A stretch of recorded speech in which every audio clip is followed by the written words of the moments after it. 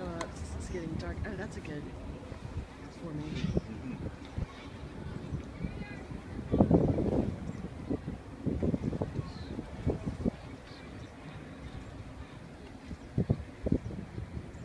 There's the moon.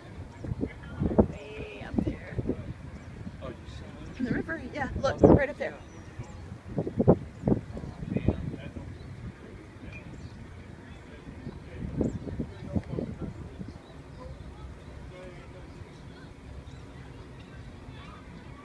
Yeah, it's really pretty up here.